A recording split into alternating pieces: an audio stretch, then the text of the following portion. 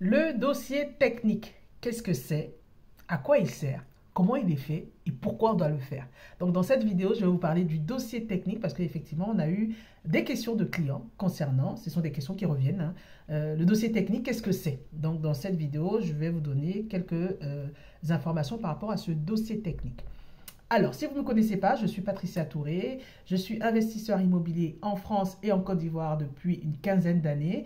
Et j'aide la diaspora afro-caribéenne à investir en Afrique, notamment la Côte d'Ivoire, à travers ma structure qui s'appelle Groupe CAM, KAM, et qui vous aide justement dans l'acquisition de terrain, dans les démarches administratives ou alors dans la gestion locative de vos biens. Vous allez avoir toutes les informations en barre de description avec toutes nos opportunités et sur notre site internet groupecam.com. Le dossier technique, à quoi il sert? C'est quoi en fait le dossier technique? Qui le fait? Est-ce que vous pouvez le faire vous ou alors c'est quelqu'un d'autre qui doit le faire?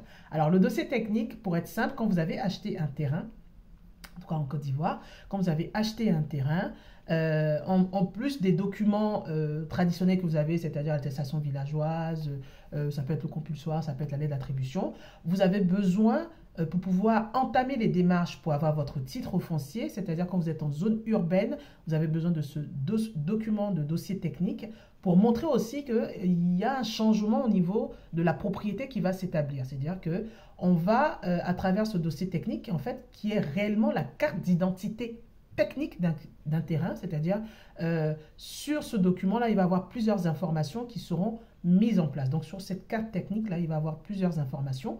Euh, alors, qui fait le dossier technique? Le dossier technique, il est fait par un géomètre expert. Donc, vous mandatez un géomètre expert qui va aller sur le terrain, la zone que vous avez indiquée avec les informations que vous lui avez données, qui va aller avec ses appareils sur le terrain, faire des, euh, prises de calcul, faire des, des mesures sur votre terrain.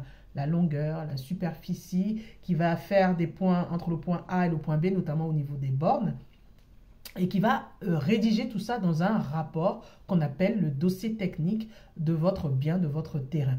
Donc ce, euh, ce document-là est fait en plusieurs exemplaires, en général je crois c'est 21 copies. Euh, qui sont faites avec les mêmes informations. Il y a un papier calque et puis après derrière, vous avez la même copie qui est, donnée avec sur une partie des calculs et on reprend toujours les mêmes informations, c'est-à-dire le nom du propriétaire, le nom du lotissement, le nom, le nom de l'îlot, le livre foncier, la référence du livre foncier, la région, votre nom, enfin toutes ces informations classiques pour identifier euh, à qui appartient ce lot. Une fois que le dossier technique a été établi, donc il va être signé par le géomètre expert et il vous remettra justement ce document épais qu'il faudra euh, soigneusement garder parce que vous aurez besoin de ce document quand vous allez déposer votre demande de titre foncier au niveau du ministère de la Construction si c'est en zone urbaine. Donc voilà en gros à quoi sert le, dossier technique, par qui il est fait et comment il se fait. J'espère que cette vidéo vous a, euh, aura répondu à toutes vos, euh, vos, questions par rapport à ce domaine-là. N'hésitez pas à nous poser des questions dans, le, dans les commentaires et allez sur notre site internet groupecam.com et on se dit à très bientôt. Au revoir.